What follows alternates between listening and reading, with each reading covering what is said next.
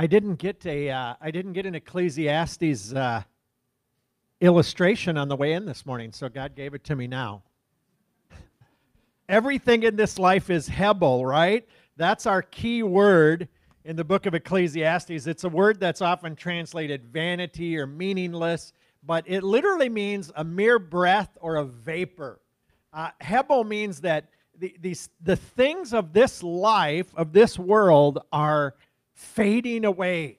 They don't last long. They have no real substance. We try to grasp onto them and hang on to them, but it, it's like trying to hold on to smoke, or it's like trying to capture the wind in your hands.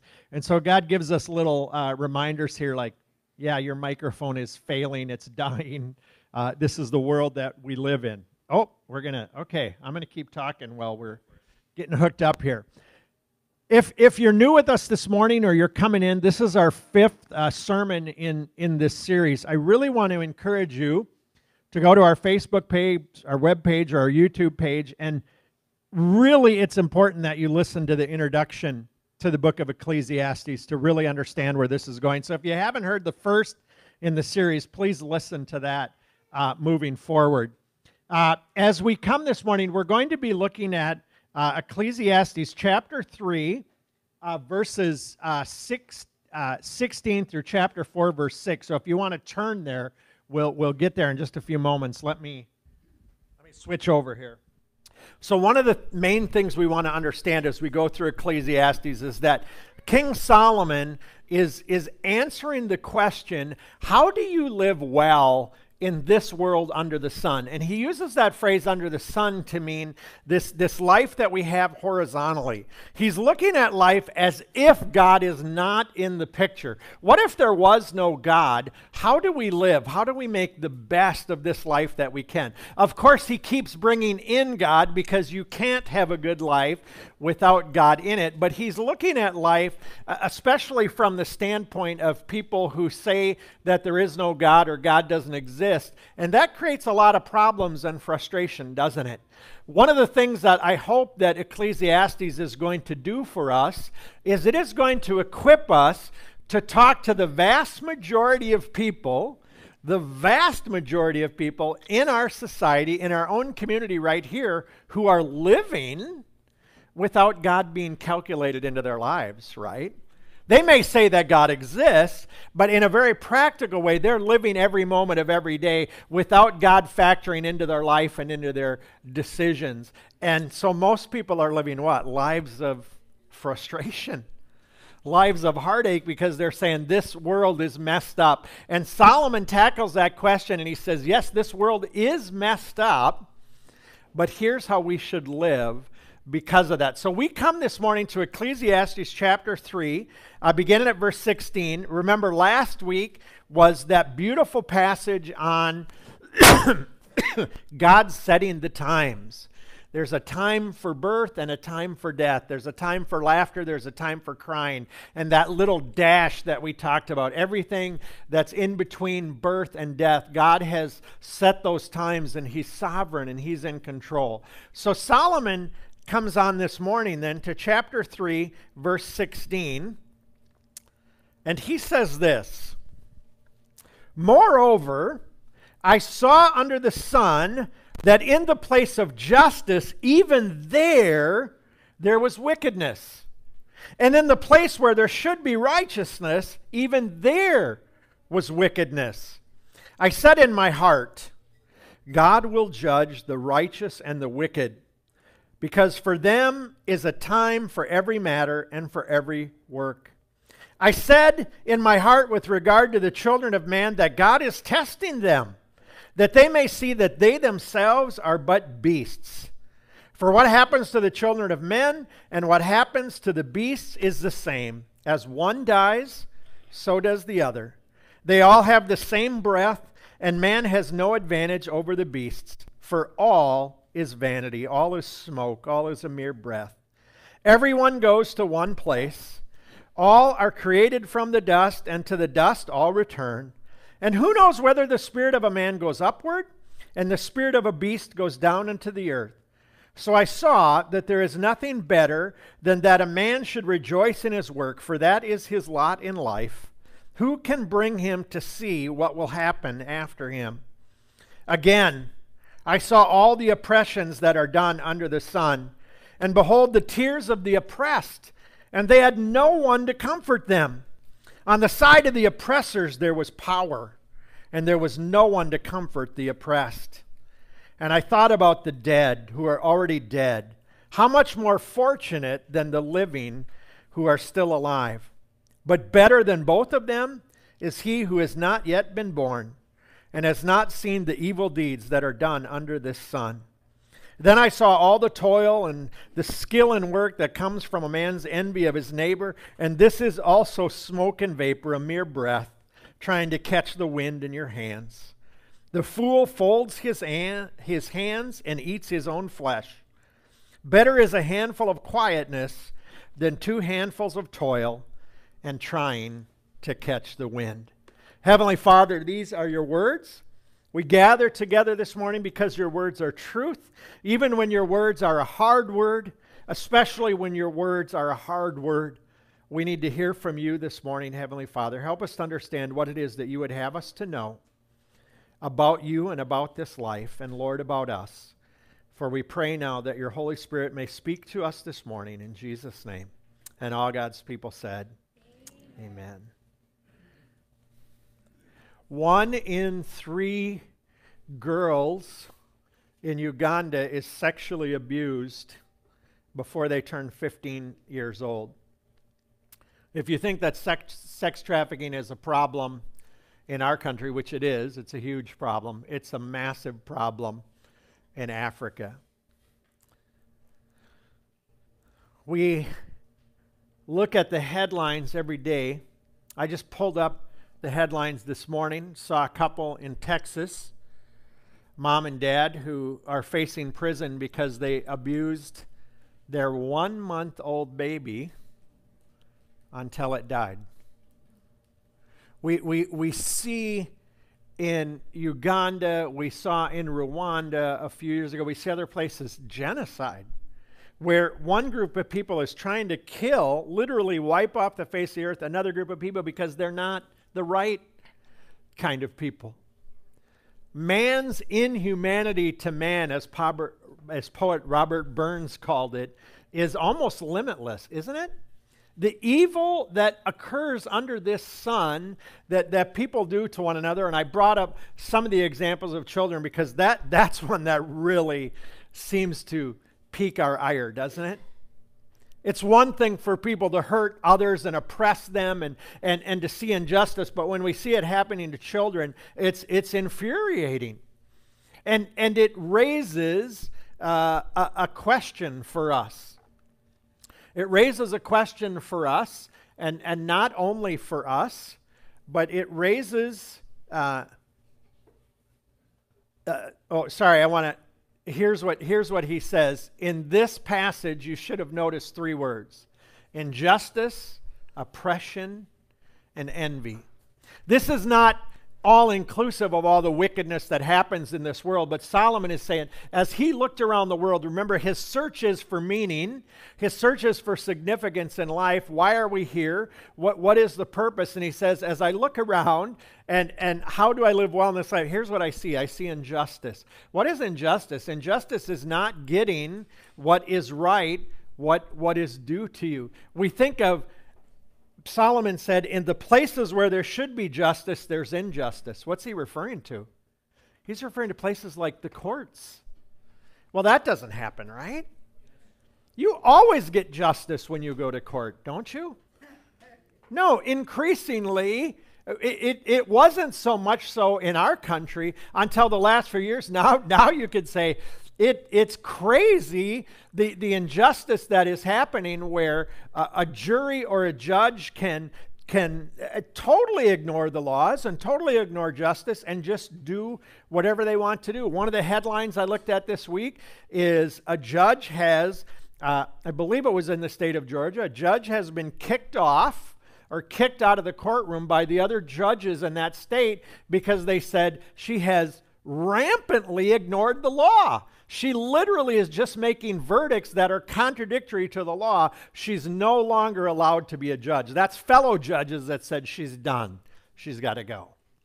That's injustice. I, I mention Uganda because I'm familiar with it. As some of you know, I work there uh, a couple times a year with Hope Centers for Children of Africa, and it's always interesting to learn the cultural things. In Uganda, if you have a problem, the last place that you want to go is to court. Ugandans avoid court at all costs because and i said really? Because we've seen things happen and talked about and we're like oh they should take him to court and they should do this. And they go why would anybody ever want to go to court? They said do you know what happens when you go to court? He who has the most money wins every single time and whom am I working with? I'm working with the poor. I'm working with the oppressed. In, in Uganda, if you see an accident, what happens is the two people involved in the accident quickly get together and they begin to discuss and they begin to say it was your fault no it was your fault and, and eyewitnesses gather around and, and they'll, they'll talk loudly, loudly and they'll argue this out and they'll hash it out before the police get there because they want to settle it out of court they want to settle it before the authorities get involved because once the authorities get involved, there will be no justice, there will be no fairness, there will be nothing but oppression. Wow.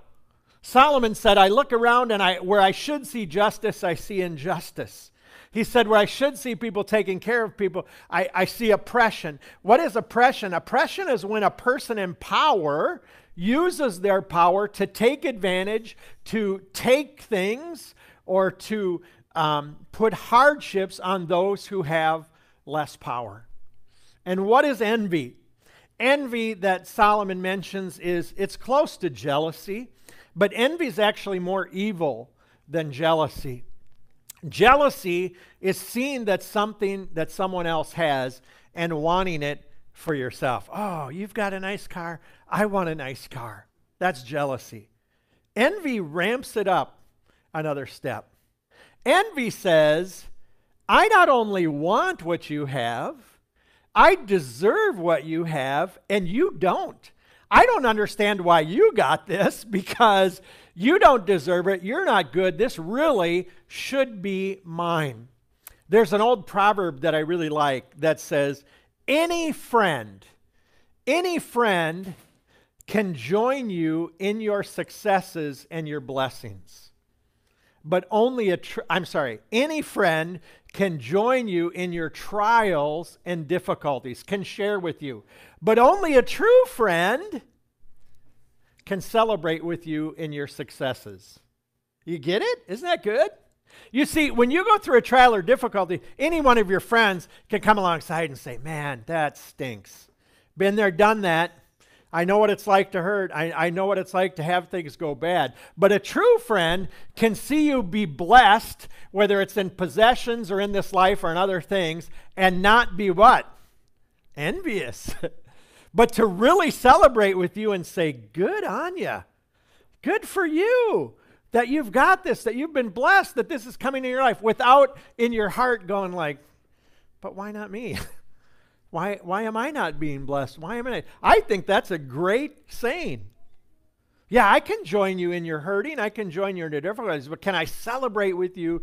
Can I rejoice? Can I stay away from that evil sin of envy? And so Solomon says, I, I look around the world and this is what I see injustice and oppression and envy and it raises then a question, doesn't it?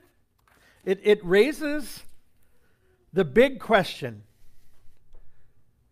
Does anybody know what the big question is? In light of what we just talked about, this is a question that Christians ask, but this is especially a question that unbelievers ask. And it's the question that causes many unbelievers to become atheists to say there is no God. What's the big question? Here it is.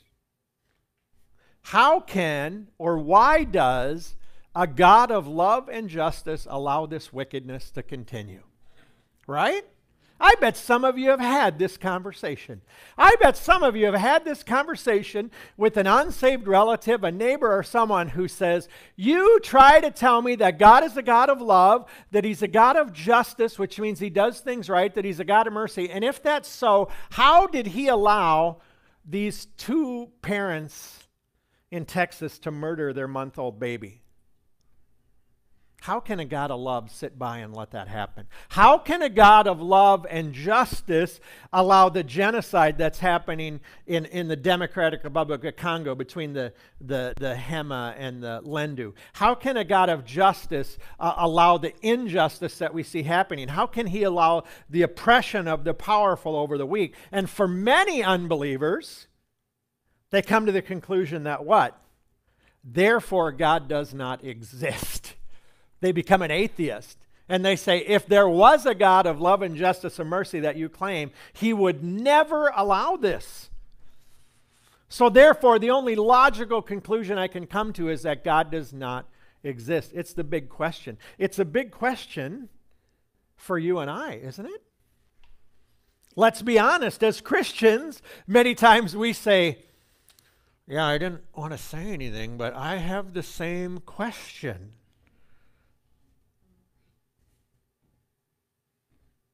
I know we have the same question because a trial or a difficulty or something comes into our life, and what's the first thing we often think? God, why? I'm doing my best for you.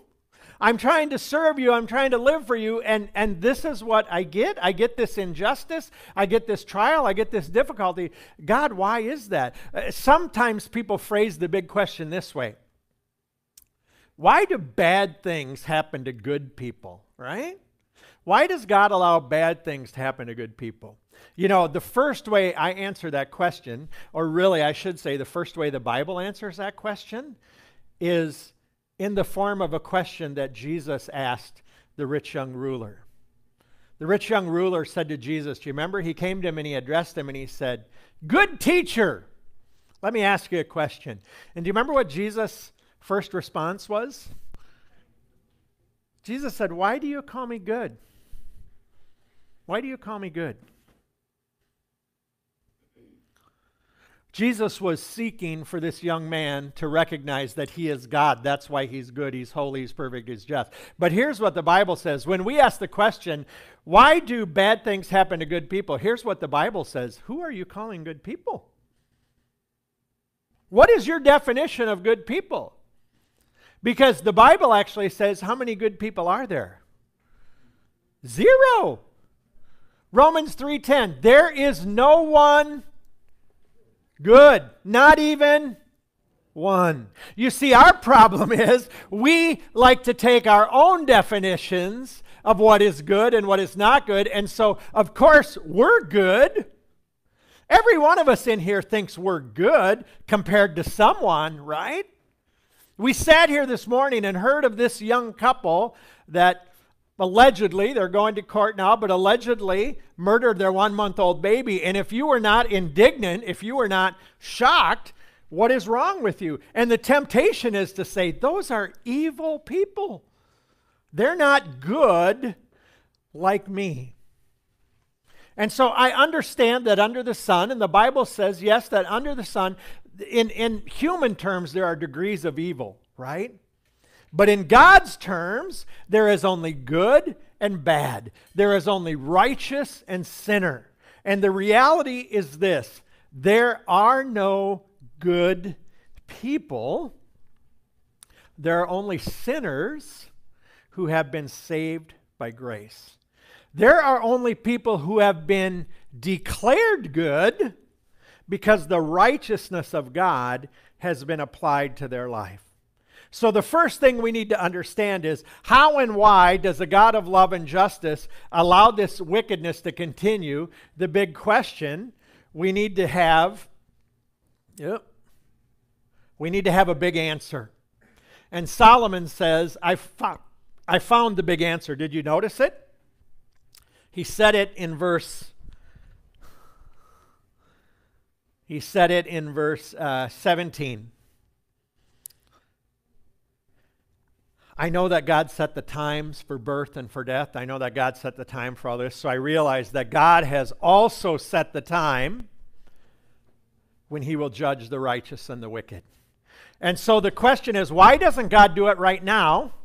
Why doesn't God do it right now? And Solomon said this I also realize that this life under the sun is a testing grounds for man to see his true nature. And he says his, our true nature is that we are but beasts or animals. Now, I, you have to understand here, he's not saying that, that we are the same in quantity, okay? Because man is created in the image of God, the animals are not. What he's saying is we, we are the same in reality. Just like an animal dies, physically dies, so you and I die. Because the one thing that you and I have in common with the animals is that we were all created by God. We're created from the dust of this earth. What happens when our physical body uh, dies?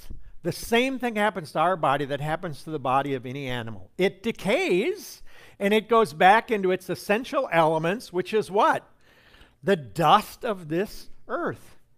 One of the interesting things about this is, is we hear that. Your reaction should not be to that. That is really negative. The reaction to that is not to be depressing. The reaction to that should be centering for you. It should be grounding for you so that you approach this life from the right perspective. One of the interesting things for me, and I, I, I used to ask this question a lot, I've kind of stopped asking it now, but when I do a, a funeral service, one of the things I always do at the graveside, many of you have been here and have seen this, is I always make the sign of the cross upon the casket or upon the cremains out of sand or, or out of dirt. And I repeat this very phrase that Solomon repeats here, that is repeated out elsewhere in Scripture. Out of the dust you were created, unto the dust you shall return. And out of the dust, here's what's different from us than the animals out of the dust, what? One day you will rise again. I have had to start supplying my own dirt and my own sand because years ago, the, the funeral homes always had it for me. And then I started to learn 20 years ago here, they go, ah, nobody does that anymore. And they've said, you're literally the only guy. The, the last one I had, they said they know one other guy in town. But they said, no one else does that anymore. They think it's too depressing. And I go, what? No, it's grounding, it's centering, it's a reminder that I am creation and He is creator. It's a reminder that this life is a vapor, that this life is short. What gives me significance in this life is not anything of myself, but because I am His and He is mine. And that's what brings me significance. And so Solomon said, This life is a testing ground for us to realize who we are. Number one, our true nature, which is we are creation, He is creator, and, and our moral nature, which is we are sinful and He is holy. The best of us, the best of us, are still not good in God's definition of goodness and holiness. apart from the righteousness of Jesus Christ, apart from his blood, which cleanses us from what? All unrighteousness. But that goodness is a declared goodness. It's not something we earn, it's not something we deserve. It's given to us as a gift from God. And so Solomon says this life, the reason God doesn't do the justice right now is because this life is a testing ground for man to see his true nature and turn to God for salvation. Do you realize? I, I used to say, I used to think that there would be so many more believers in this world, that there would be so many followers of God if if God worked like the cartoons. Do you know what I mean by the cartoons? In a cartoon, at least in the ones I watched when I was growing up, remember what would happen when somebody would do something bad, something evil? Lightning would come down from heaven, right, and fry them. You know, they always recovered, but lightning would come down and zap them. What was that? That was the picture of like, okay, God's upset. You did something bad. If that actually happened, if if this couple who allegedly murdered their one month old baby, if, if then the next day on the news was like, uh, a couple struck by lightning and killed after death of one month old baby, what would happen in our world? We'd go, yeah, not shocked. Yeah, God says don't murder. God says don't take an innocent life. I mean, what were you expecting? I, I thought, oh, there'd be there'd be so many more believers if that happened. But here's the reality. Why does God delay? Because God's desire is that. What's God's desire for this couple? I'm going to assume that they did it. We don't know. This is all very new. I'm going to assume that they did it. What's God desire for this couple? For them to repent of their sins, to come to him and have life in his name. If he struck them dead the moment after they did this terrible thing, if he struck you and I dead the moment after we did a sin, there would be no chance for us to understand our true nature and turn to Him for salvation. So do not misunderstand that God does not deeply care uh, about the oppressed, that God does not deeply care about justice and mercy. But what is happening is that God is giving a chance. God desires that all men be saved and come to the knowledge of the truth. Make no mistake, justice will be done. But here's what Solomon says it's at the time that God has set. At the time that God has set, he will right all wrong. Justice will be done. I don't know why I'm having a problem with this today. Okay. Here, here's what it says in Jeremiah 23 19 and 20. Will you read that together with me if you can see it? Behold, the storm of the Lord has gone forth in wrath, even a whirling tempest. It will swirl down on the head of the wicked. The anger of the Lord will not turn back until he has performed and carried out the purposes of his heart. In the last days, you will clearly understand it. There's some things that Christians like to say that sound good, but they just happen to be unbiblical, and one of them is this God hates the sin, but he loves the sinner, right? Mm, no, no. The wrath of God will be poured out on sinners one day. What does it say? I, look at that picture. It's going to swirl down on the head of the wicked. The anger of the Lord will not turn back. God loves us so much that He provided a way for sinners to be saved and be made righteous. But do not think that God is going to give a pass to the wicked someday who reject His salvation. There will be an accounting. Justice will be done because he is a God of justice and mercy. And for those of us that know him as Lord and Savior, we don't escape that judgment because we're good. We escape that judgment because by the grace of God and God alone, we've turned to him. And so the wrath that was due to us was poured out upon his son. Do you understand that? The wrath of God has come down on every sin that's ever happen that ever will happen, either upon the head of those who do not repent and turn to him, or he put it on his son on the cross in our place. But the wrath of God for sin, how do we sing in the song?